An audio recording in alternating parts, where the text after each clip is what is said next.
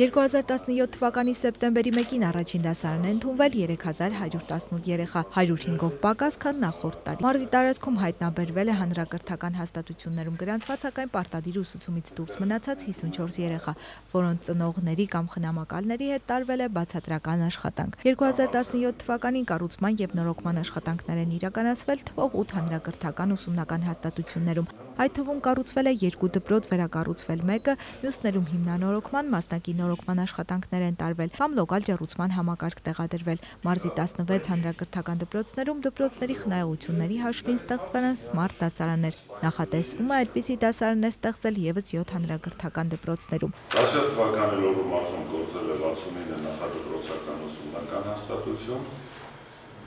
5443 երեխա տեղ է եղել հզորությունը մեր նախադպրոցական հաստատությունների, այս բարի նախորդ ուսումնական տարում զբաղեցվել է 88%-ը։ Մարզային ենթակայության թվով 149 հանրակրթական ուսումնական հաստատություններից 66-ը ջերուցվում է լոկալ համակարգով, 44-ը գազի վառարանով, 22-ը վառելափայտով, 19 էլեկտրականությամբ, 2-ը հեղուկ վառելիքով։ Մենք ձեզ հետ համաձայնեցված մի գործընթաց ենք ուզում սկսել մի քանի դպրոցներում, որ այդ գումարը ծախսենք, որովհետև գազի վառարաններով ջերուցումը ապագայում էլ եթե անգամ ծախսենք, այդ վառարանները արդեն ֆիզիկապես մաշված են, հետագայում չեն ծառայելու իրենց նպատակին, այն դպրոցներում, որտեղ մենք ֆինանսական հնարավորություններ ունենանք, եթե մալուխների խնդիր էլ անգամ կա, մեզ ավելի ձեռնտու է անցնել էլեկտրական ջերուցիչներով ջերուցման, եթե դպրոցը չի կարողանում լոկալ ջերուցման համակարգ ինքն իր համար, բայց մի քանի դպրոցները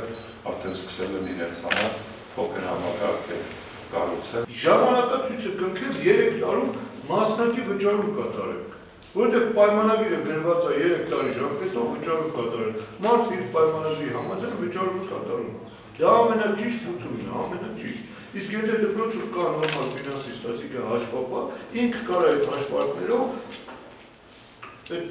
շինարարությունը շահող կազմակերպության հետ պայմանագիրը կնքի ու ամեն ամիս իր վճարում կատարի։ Վարչության պետը ներկայացրեց նաև մշակութային մարզական ոլորտների հաշվետվությունը։ Հաշվետվության ավարտին մարզի ղեկավարը եւս մեկ անգամ պահանջեց լուրջ ուշադրություն դարձնել կրթության որակին եւ հետեւողական քայլեր իրականացնել այդ ուղղությամբ։ Մերի Գոլորյան, Արմեն Հովսեփյան, լուրեր